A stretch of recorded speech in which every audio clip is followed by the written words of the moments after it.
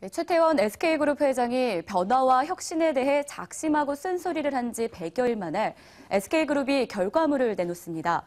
내일부터 열리는 SK CEO 세미나에서 계열사별 맞춤형 생존 전략은 물론 다양한 혁신 방안이 나올 것으로 보입니다. 여면석 기자입니다. 기존의 관성을 버리고 우리가 열린 눈으로 조직과 일을 바라봤을 때 뭔가 이상하면은 과감하게 이제 틀을 깨야 합니다. 파괴 뒤에 올 새로운 시스템과 새로운 규칙이 무엇이냐 하는 게 석달 전 SK그룹 최태원 회장이 확대 경영회의에서 16개 주력 계열사 CEO들과 관련 임원 등 40여 명을 모아놓고 작심하고 쓴소리를 했습니다. 지난해 사면 이후 그룹 현황 파악에 주력하고 사생활 문제 등으로 말을 아꼈던 최 회장이 주문한 건 변화와 혁신. 그룹 총수 공백 시 SK그룹은 안정적인 성장에만 치우친 나머지 KT 금호렌터카와 STX 에너지, 호주 석유 유통업체인 UP 등 대형 M&A에 실패했습니다.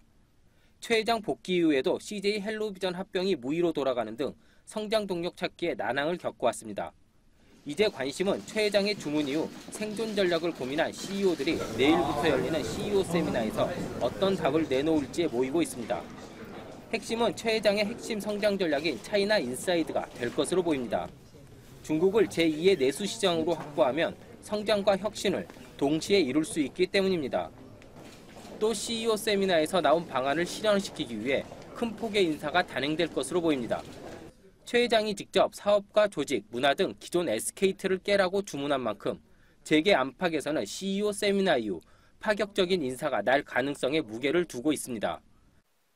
앞서 창립 64주년을 맞아 급변하는 환경에 빨리 대응하기 위해 젊은 한화를 표방한 한화도 연말 사장단 정기 인사를 어제 단행한 것처럼 SK 역시 CEO 세미나 이후 조기 인사를 단행할 가능성도 있습니다.